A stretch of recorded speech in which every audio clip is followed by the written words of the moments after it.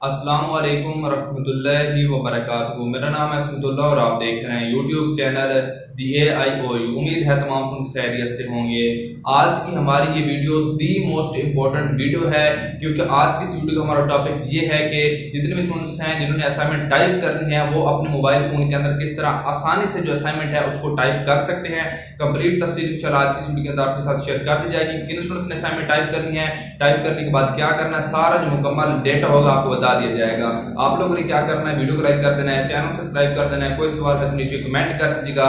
बगैर आपका time waste करते हुए अपनी वीडियो को शुरू करते हैं। सबसे पहली बात यह है कि किन स्टूडेंट्स ने असाइनमेंट्स को टाइप करना है? तो टाइप करने के अंदर एडीई यानी कि एसोसिएट डिग्री एजुकेशन जिसमें बीए बीकॉम इंक्लूड नहीं है। उसके अलावा बीएस अढ़ाई साल प्रोग्राम बीएस चार साल प्रोग्राम उसके अलावा बीबीए के स्टूडेंट्स उसके अलावा M M S C M Ed कॉमो और एम एजुकेशन और बी एड के तालब इन तमाम स्टूडेंट्स ने अपने असाइनमेंट जो है उसको टाइप करना है।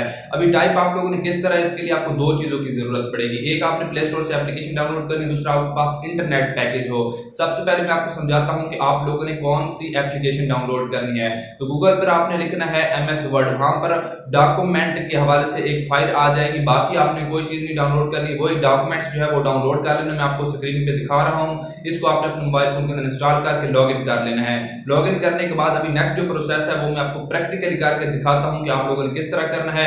वीडियो वर्टिकल होगी तो आपने स्क्रीन जो है वो फुल कर लेनी है तो स्टूडेंट्स आपने प्ले स्टोर पर चले जाना है, वहाँ पर जाकर सिर्फ़ आपने एम एस वर्ड टाइप कर देना है। एम एस वर्ड टाइप करके टाइप करेंगे तो गूगल डॉक्यूमेंट्स का एक ऑप्शन नज़र आएगा। यही आपने डाउनलोड करनी है, जो मैं आपको स्क्रीन के ऊपर दिखा रहा हूँ। डाउनलोड करने के बाद ओपन के ऊपर क्लिक करेंगे तो इस तरह से इंटरफेस आ जाएगा।